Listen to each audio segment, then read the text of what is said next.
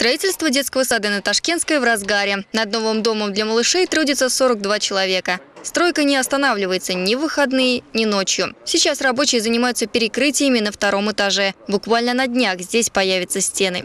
По благоустройству, по ТС, по СКС как? По сетевикам у меня все понятно, там есть рабочий момент, но там проблем нету. А где-то ну, ближе прям к концу августа, чуть раньше даже, чем потому что планировали, будем выходить на ту заправку, на ту сторону. Нужен благоустройство? Да.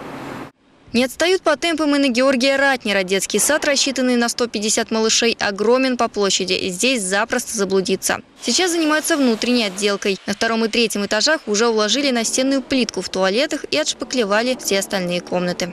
Вы обратили внимание, что остекление детского сада очень э, прозрачное, большая площадь остекления, поэтому помещение физкультурного зала очень светлое, хорошее, чистое получится. Таких детских садов я еще не строил.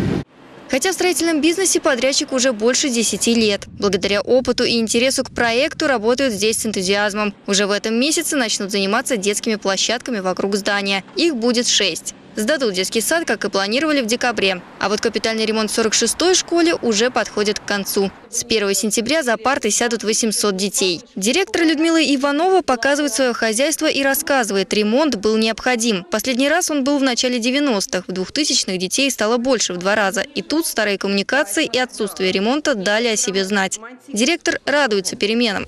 Такой красивой, нарядной школы, наверное, не была никогда. Современной, стильной. Поэтому, конечно, это вторая жизнь школы.